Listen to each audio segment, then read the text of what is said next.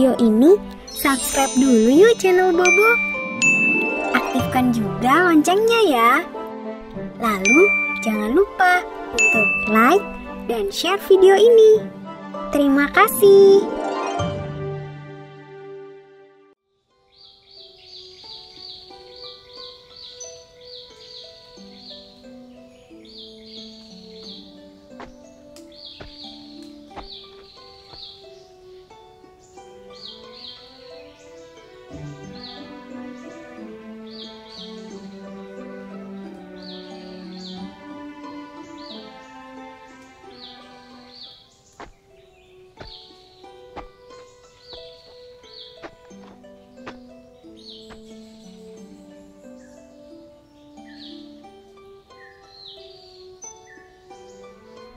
Hah, capek juga ternyata habis membantu Pak Doble membuat permen kapas.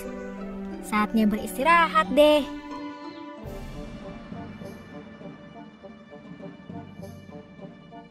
Uh, enak sekali si kurcaci hijau itu bersantai-santai. Akan aku kerjai dia, biar tidak bisa bersantai lagi.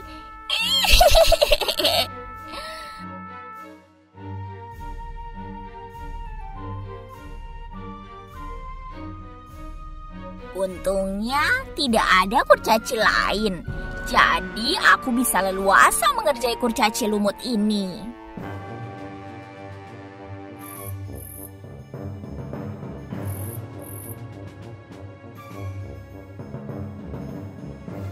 Oh iya, dulu kan aku pernah mengerjai kurcaci ini dengan serangga.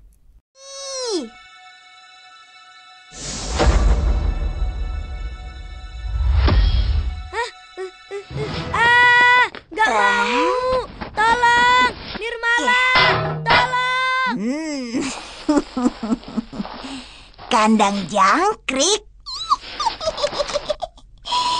Ini baru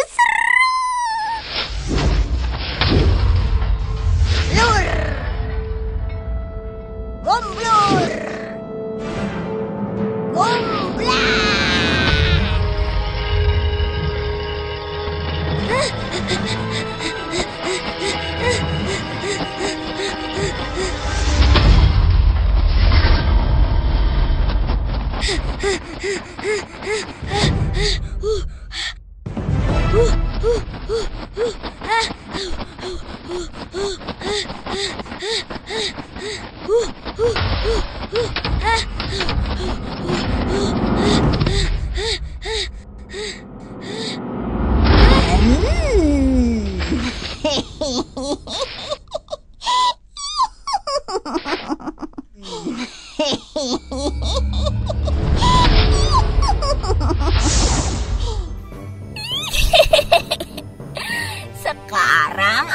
Akan mengerjai kamu dengan serangga lagi.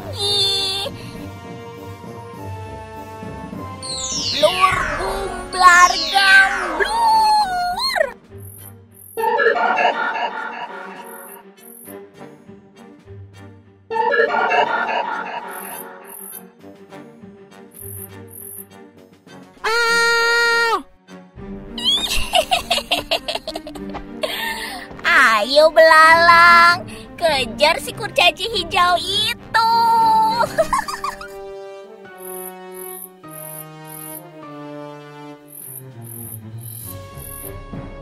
belalang, aku perintahkan kamu untuk kejar dia. Pipiot, Pipiot. Belang ini kan temanku. Jadi dia tidak akan mengejarku. Belalang, kamu kejar Pipiot saja tuh.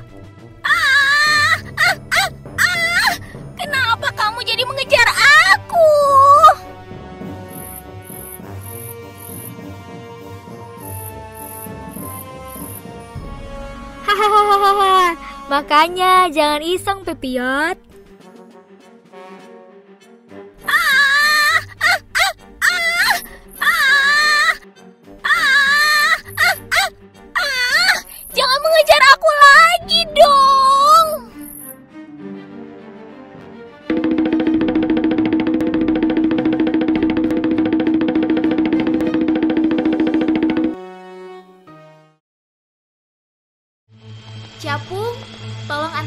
Ke tempat anggrek gadis menari ya. Nirmala, kamu kenapa milih Capu sebagai kendaraan kita? Setiap mata capung itu memiliki 30.000 lensa. Capung juga bisa melihat ke segala arah, Ki, 360 derajat. Jadi, dia pasti bisa menemukan anggrek gadis menari dengan cepat. Wah, Capung memang serangga yang hebat ya. Sayapnya juga indah. Aku pernah baca di buku yang kamu kasih Nirmala. Sayapnya ini bergerak 30 kali per detik kan? Syukurlah kamu sudah baca bukunya, Ki. Hehehe. Kalau ada buku menarik, ya aku baca Nirmala.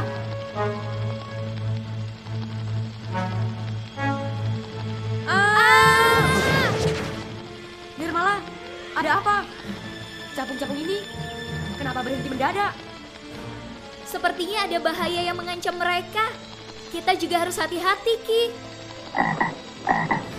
Itu dia musuhnya. Itu kata hewan predator capung. Gawat, itu katak dari hutan besar. Kenapa bisa nyasar ke hutan ini ya?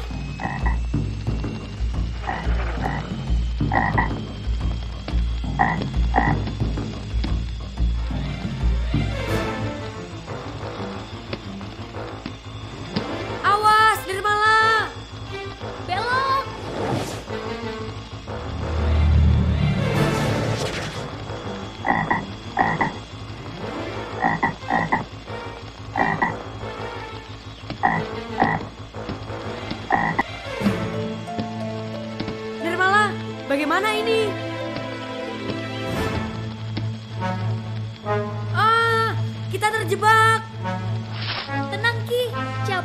terbang ke segala arah. Capung, ayo cepat kita ke atas.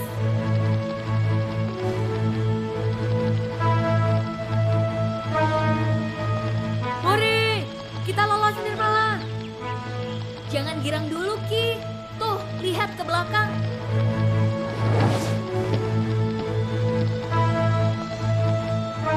Nirmala, cepat halangi mereka. Gawat, kita bisa dimakan. Cepat sulap mereka Nirmala. Sulap jadi permen kodok saja. Simsalah. Ah!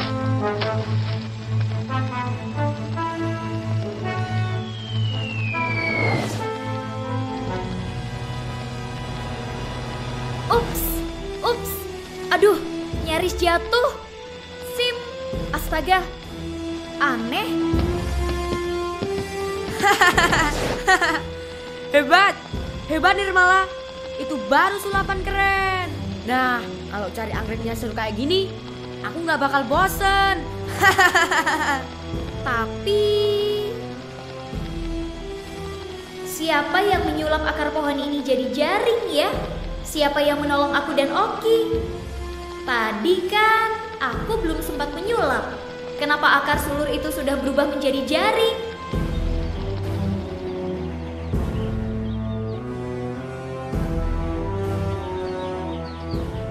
Kata-kata besar, jangan ganggu Oki dan Nirmala ya. Kalau Oki dan Nirmala sudah jauh, baru kalian aku lepaskan lagi. Hmm, kalau aku melihat ke cermin ini terus, nanti kejutan dari Nirmala jadi bukan kejutan lagi. Kurang seru. Lebih baik aku tidak perlu mengintai kegiatan Oki dan Nirmala di hutan. Kalaupun ada bahaya, sepertinya Nirmala bisa mengatasinya. Cermin ajaib, kembalilah seperti semula.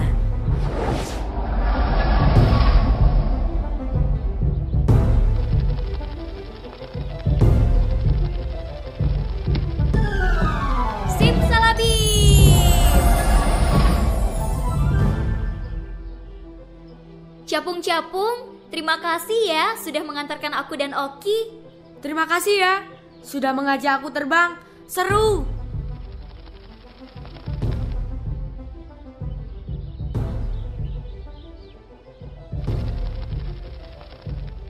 Wah, itu dia anggrek gadis menarinya, Ki. Terima, Terima kasih, teman-teman. Oh, aku baru ngerti. Bentuknya memang mirip gadis yang sedang menari ya. Gadis-gadis bergaun pesta kuning. Ayo, kita ambil beberapa tangkai untuk Ratu Bidadari.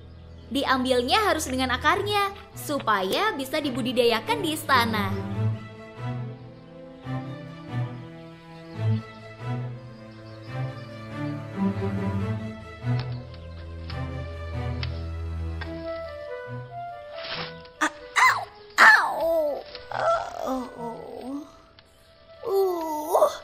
Jahit mantel aja susah banget sih.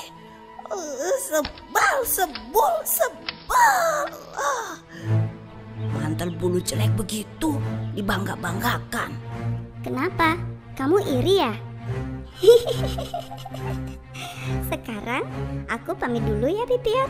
Aku ke sini kan cuma untuk pamer mantel buluku. Hei, Felip, Glege. Kalian sudah tidak main bola? Hei Ki, bosan main bola dari pagi. Aku dan Felip jadi cari rambutan deh. Simsalabim, simsalabim, simsalabim. Teman-teman, jangan lupa kunjungi website untuk anak ya, bobo.id. Like, comment, share, dan subscribe juga ke channel Bobo yuk!